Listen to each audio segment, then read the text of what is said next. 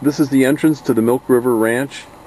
It's outside of Havre, Montana, about four miles south of the Canadian border. Well, welcome to Augustin Grain and Cattle. Uh, we produce cattle, small grains, chickpeas, beans, lentils, uh, so a wide variety of, of products here in the north central Montana.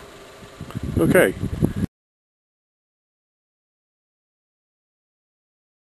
You're looking at a, a chiseled outline of a buffalo that we found lying on the surface down in our corrals.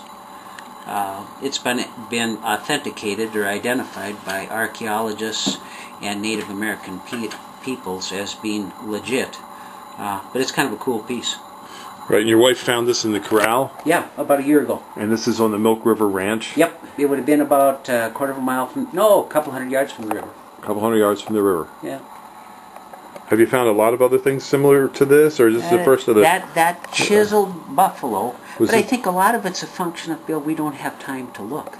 Standing along the west side of a drive line of a buffalo jump, because there's been no excavation here, no study of it of this buffalo jump by archaeologists. We're not certain of the age uh, of the buffalo jump or when it was used, uh, because it's been unstudied.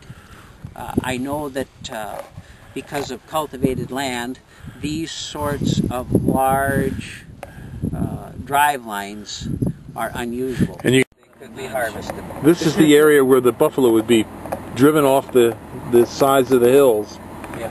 and it's so steep that they'd get injured. And then in a spot like back up in here, this is where they'd build a holding pen, so that if the injured animal was still alive and just crippled, they could keep it alive for a couple days until they had time to process it. This is the boneyard at Highland Hill Farm. There's all kinds of bones here. If you look right there, that's a bone, that's a dinosaur bone. Mike, you just found two pieces. There they are, yep. And uh, just throw them back on. There's a chunk of a vertebrae from a dinosaur. The material is all over through this area. Michael? Yeah.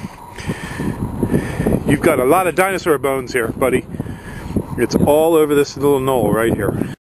This is a set of bones just creeping out of the ground here. And you can see it trails all the way down along here. Fragments from it all the way down.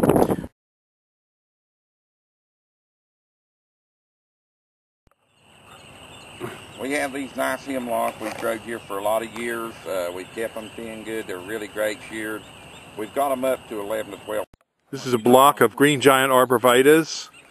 More green giants at the top of this next field, field with Niagaras in the base, and some more Niagaras and green giants over in there, and more green giants all the way up through there. Give us a call, 215-651-8. This is a field of Leyland cypress, 8 to 10, 10 to 12s are down in there. Give us a call, 215-651-8329. These are 30 to 36 inch American boxwood. Give us a call, 215 651 8329.